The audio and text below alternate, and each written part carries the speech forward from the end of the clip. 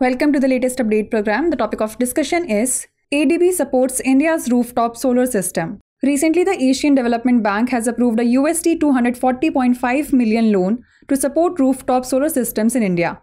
This financing will aid the government's efforts to expand energy access through renewable energy. It will support tranches 2 and 3 of the multi tranche financing facility Solar Rooftop Investment Program. Initially approved by the ADB in 2016, the program was restructured in 2023 to focus on residential solar rooftop systems. India aims to achieve about 50% of its cumulative electric power installed capacity from non fossil fuel sources by 2030. The approved financing will be allocated to the State Bank of India and the National Bank for Agriculture and Rural Development. According to ADB, the installation of rooftop solar systems offers significant benefits to the overall power distribution system. It can reduce the technical and operational burden by generating electricity close to where it is consumed.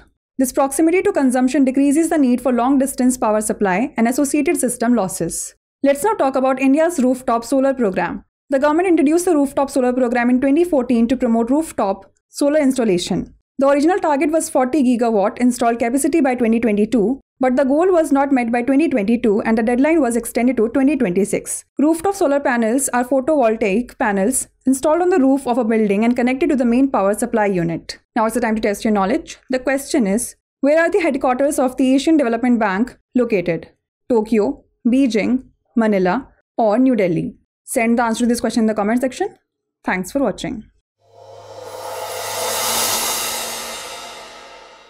For more informative content, like, share, and subscribe. And do not forget to press the bell icon to get the notifications.